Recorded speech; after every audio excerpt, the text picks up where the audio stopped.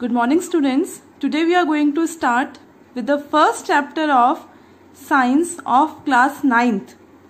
इससे पहले uh, discuss some important things that uh, in the 8th class you have studied science as a complete subject जिसके अंदर आपको एक teacher आपको तीनों सब सब्जेक्ट साइंस के for example physics chemistry and bio एक साथ पढ़ाते हैं बट नाइन्थ में डिफिकल्टी लेवल बढ़ जाता है that's why different teachers teaches you chemistry physics and bio so we divide science into three main streams कह दीजिए या parts कह दीजिए in which we are going to study the first part that is chemistry in ninth class there are four chapters of chemistry the first one is matter in our surroundings the second one is is matter around us pure third one is atoms and molecules and the fourth one is structure of atom ठीक है so Now, we are going to start with the first chapter, that is matter in our surroundings. Our first chapter is matter in our surroundings.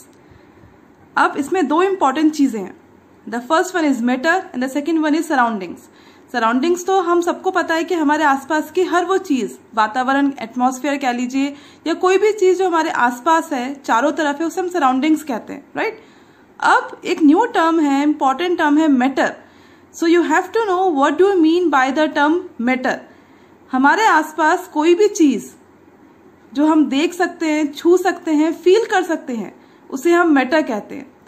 पहले ये सब नहीं माना जाता था। Earlier concept क्या था कि मैटर कॉन्टिन्यूस है। यानी कि जो भी चीज़ हमारे आसपास हमें दिखाई देती है, चाहे वो आप या मैं हूँ, चाहे टेबल फ़ैन हवा, पानी, कुछ भी, जो भी चीज़ हम देख रहे हैं स्मेल कर रहे हैं या हम टच कर सकते हैं फील कर सकते हैं, ये एक्चुअली है क्या?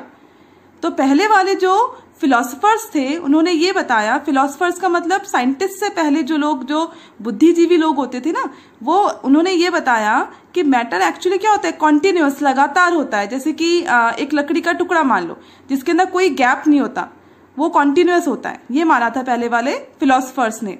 फिर दोबारा सेकेंड कॉन्सेप्ट माना गया कि मैटर फाइव तत्व पाँच तत्वों से मिलकर बना होता है। पाँच तत्व क्या होता है? These five basic elements air यानी हवा अर्थ यानी कि पृथ्वी फायर अग्नि स्काई आकाश एंड वाटर पानी। ठीक है? इन पाँच तत्वों से मिलकर मैटर बना हुआ है। ये पहले का कॉन्सेप्ट था। ठीक है? लेकिन बाद में बहुत सारे एक्सपेरिमेंट्स हुए, बहुत सारे साइंटिस्ट आए, और एक न्यू थ्योरी उन्होंने दी। That theory is we call new concept इसका मतलब मैटर इज़ पार्टिकुलेट पार्टिकुलेट और कॉन्टिन्यूस दोनों अलग अलग टर्म है. कॉन्टिन्यूस का मतलब जो लगातार होता है. पार्टिकुलेट का मतलब जो पार्टिकल से मिलकर बना होता है.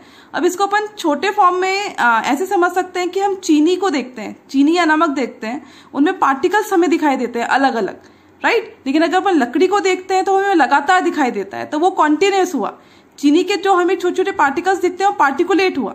Right right? मतलब ये एज सच हम मैटर का एग्ज़ाम्पल नहीं लेते, ले रहे, हम केवल डिफरेंस क्रिएट कर रहे हैं कॉन्टिन्यूस और पार्टिकुलेट के बीच में। तो नया कॉन्सेप्ट है मैटर इज़ पार्टिकुलेट ये ध्यान रखना, एक क्वेश्चन आता है कि इज़ मैटर कॉन्टिन्यूस और पार्टिकुलेट तो matter is particulate in nature means matter is made up of particles very small particles right अब हमें ये तो पता लग गया कि मैटर पार्टिकल से मिलकर बना होता है, लेकिन मैटर की डेफिनेशन क्या होती है? व्हाट इज़ मैटर सो ध्यान रखिएगा, हम अभी भी अभी भी हमने समझा है कि एनीथिंग अराउंड अस हमारे आसपास कोई भी चीज़ दैट ऑक्यूपाइज स्पेस यानी कि जो जगह घेरता है स्पेस ऑक्यूपाई करता है, जिसमें मास होता है मास का मतलब कंटेंट किसी भी बॉडी के कंटेंट को हम मास कहते हैं।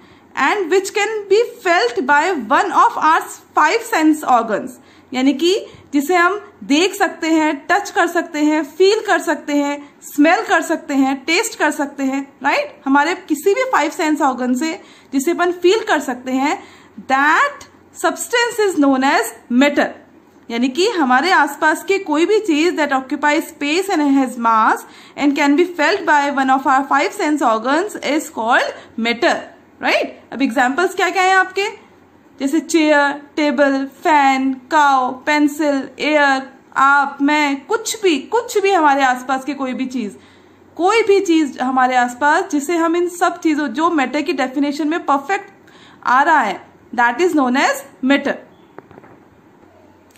अब एक और इंपॉर्टेंट चीज़ पता तो लग गया मैटर क्या होता है लेकिन क्या नहीं है मैटर नॉन मैटर के भी तो एग्ज़ाम्पल पता होने चाहिए हमें कि नॉन मैटर क्या क्या होता है तो हमारे अंदर की फीलिंग्स इमोशंस जैसे कि love hate smell fear time sound sunlight sound sunlight ये सब क्या है? These are the examples of energy और एनर्जी मैटर नहीं होता, ठीक है? मेमोरीज ग्रेविटी एक्सेट्रा ड्रीम्स जो सपने हम देखते हैं these all are not matter right तो प्लीज़ ये वाली बात अपने दिमाग में रखना कि what is matter and what is not matter क्योंकि हमें डिफरेंस करना आता है इनके बीच में, ठीक है? नाउ इंपॉर्टेंट बात क्या है कि matter is made up of particles अब हमें इसे एक एक्टिविटी के थ्रू प्रूव करना है कि how can be prove that matter is made up of particles या मैटर पार्टिकुलेट है नेचर में। ये एक्टिविटी हमें ये प्रूव करता है। ये आप अपने घर पे भी कर सकते हैं। बहुत ईजी है। हमने एक बीकर लिया। आप घर पे कोई भी ग्लास लीजिए जो ट्रांसपेरेंट हो ग्लास बना ग्लास का हो। उसमें आपने हंड्रेड एम बीकर में या एक ग्लास में फिफ्टी एम वाटर ले लिया। ठीक है? इसमें आपने सॉल्ट या शुगर कुछ भी ऐड किया और उसको अच्छे से स्टर करके डिजोल्व किया। ठीक है? ट्रांसपेरेंट ग्लास लेना जिससे कि you can see what will you observe आप ऑब्ज़र्व जो कर रहे हैं वो आप देख पाए, ठीक है? ये अपना एक्सपेरिमेंट हो गया कि हमने ग्लास या बीकर के अंदर पानी लेके वाटर लेके उसमें सॉल्ट या शुगर को ऐड किया है और स्टर कर दिया. दिस इज़ आर एक्सपेरिमेंट अब हम ऑब्ज़र्व करेंगे. What are our observation that आप खुद देखना, एक मार्क बना लीजिए अपने ग्लास पे कि भाई यहाँ तक पानी है.